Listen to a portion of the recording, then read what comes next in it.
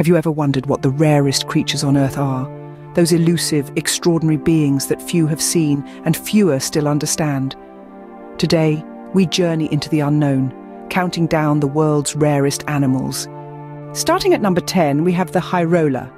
Also known as the hunter's hartebeest, this antelope from eastern Africa holds the dubious honour of being the world's most endangered antelope.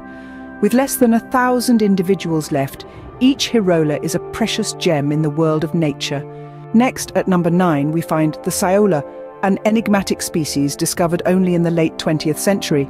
This elusive creature, often called the Asian unicorn, resides in the Annamite Mountains of Vietnam and Laos. Only a handful of sightings have been recorded since its discovery.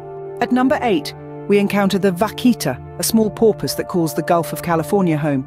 With fewer than 30 individuals remaining, the vaquita is the rarest marine mammal in the world. Moving to number 7, we have the Amur leopard. This big cat, native to the Russian Far East, is known for its beautiful coat and impressive agility. With only about 70 individuals left in the wild, the Amur leopard is a rare glimpse of nature's majesty. Number 6 introduces us to the northern right whale. With an estimated population of just over 300, these creatures are among the rarest of the whales, their numbers drastically reduced by centuries of hunting. At number 5, we find the Javan rhino.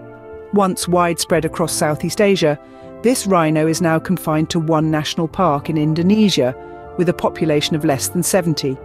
At number 4, we have the Sumatran orangutan. With a population of just under 1,500, the Sumatran orangutan is in a critical state, its survival threatened by habitat loss and hunting. Moving to number 3, we encounter the kakapo, a flightless parrot from New Zealand. With a population of less than 200, the kakapo is a charming and quirky addition to our list. At number two, we find the vaquita again. This time it's due to its status as the most endangered cetacean in the world.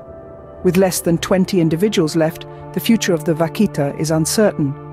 Finally, at number one, we have the baiji, a freshwater dolphin that was declared functionally extinct in 2006.